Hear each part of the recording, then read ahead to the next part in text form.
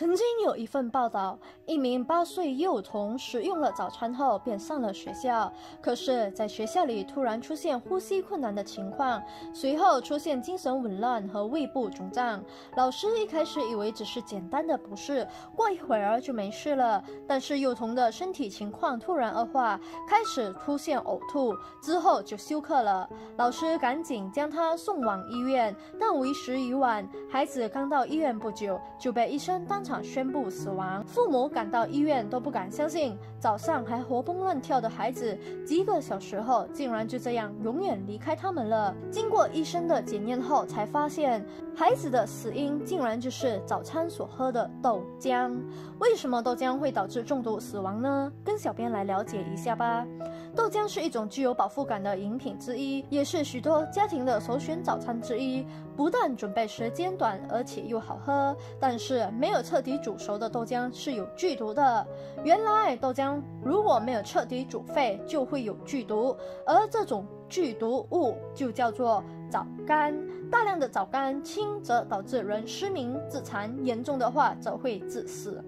豆浆中毒三十分钟左右就会毒发，潜伏期极短，而且儿童中毒症状甚至会。快速恶化，并且在症状早期的时候和腹泻极其相似，所以常常被人们忽视。但是如果在症状早期的时候没有得到及时的抢救，症状就会迅速的恶化至晚期，最后就导致孩子死亡。我们一定要了解如何分辨真沸和假沸。很多人都会按照水开了的标准来判断豆浆熟了，认为当豆浆出现泡沫的时候就是沸腾，意味着豆浆煮熟了。其实远远没有，这就是豆浆的假沸现象。因为豆浆的沸点较低，有时达不到一百四十度就开始沸腾，而此时着急喝的话，胰蛋白酶抑制剂的失效率是百分之四十，未达到百。百分之一百失活率的要求，在这种情况下使用是不安全的。当豆浆加热到八十至九十摄氏度的时候，枣干会受热膨胀，产生大量泡沫。如果此时误认为豆浆已经沸腾而停止加热，这样的豆浆就含有大量的枣干了。适量的枣干具有抗衰老、抗疲劳的功效，但枣干同样也是一种溶血剂，可以刺激肠胃黏膜，引起恶心、呕吐、腹胀、头晕等中毒症状。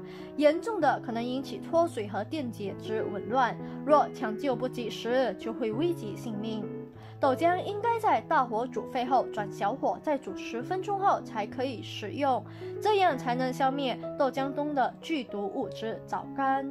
而且，小编建议大家豆浆需要现煮现喝，保存时间超过六小时以上，千万不要喝了。除了豆浆未煮熟不可以食用以外，大家也不可以生吃这些食物。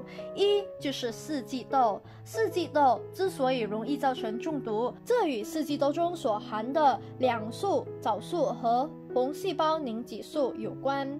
藻素对胃黏膜有较强的刺激作用，可引起呕吐、腹泻等消化道症状。红细胞凝集素可以破坏红细胞的血氧功能，使红细胞凝集，引起中毒。只有加热到一百摄氏度，并且维持一段时间后，这两素才能够被破坏，才可以安全的食用。再来就是黄花菜，黄花菜含有秋水仙碱，人体摄入秋水仙碱后，会在人体组织内被氧化，生成二秋水仙碱。然而，二秋水仙碱是一种剧毒物质，可以毒害人体胃肠道、泌尿系统，严重威胁健康。一个成年人如果一次食用鲜黄花菜五十至一百克，即可引起中毒，所以大家一定要小心了。再来就是未成熟的西红柿，未成熟的西红柿含有毒性物质叫龙葵素，食用这种未成熟的青色西红柿，口腔有苦涩感，之后可以出现。恶心、呕吐等中毒症状，生吃危险性更大，所以西红柿一定要成熟了才可以食用。